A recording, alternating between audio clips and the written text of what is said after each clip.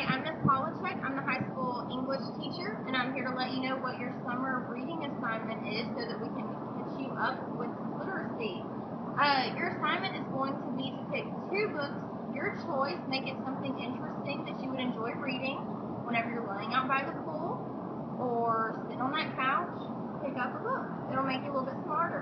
So when you're reading, I've got a simple assignment for you. All you have to do is make a dialectic journal. I'm going to upload this online. You can find it on the Hall website under the literacy tab. And basically what a dialectical journal is, is you are going to pick five to ten passages from the book you're reading, and you are going to either make a personal connection, ask a question if something's confusing, make a prediction about what's going to happen,